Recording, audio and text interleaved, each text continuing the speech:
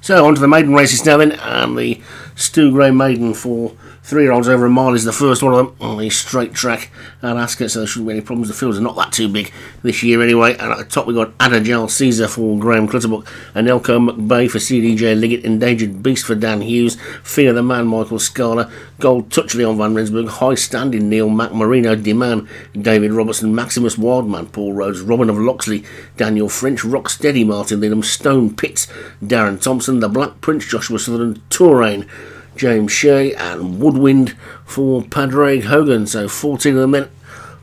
The straight and at Ascot away and racing, and closest to us and slowly away was Rocksteady, also a little bit slow ahead was high standing, but right up the centre of the track, Maximus Wildman in the red jacket trying to get over this near side fence is just about the leader with the grey stone pits on his inside. Then Endangered Beast right over on the far side, another Grand Marino Demand is being chased by Touraine, and also over on that far side we've got Robin of Loxley, and the final of the greys is Fear the Man, but it's Maximus Wildman who's down on this near side fence who's got the lead by about two lengths to the blue jacketed Endangered Beast, the grey six stone pit is, is next. Alongside that one is Woodwind right over on the far side. Marino Demand leaves that little group racing on its own. In, in between the two groups is the Black Prince and the black and red hoops of Joshua Sutherland trying to make his way through the field now. He's Gold Touch, also Rocksteady's trying to run on as well. But it's Maximus Wildman who leads. Maximus Wildman is four lengths clear of Marino Demand who's going really well on the, up the centre of the track and also coming through Robin of Loxley and Touraine. Those three going well together.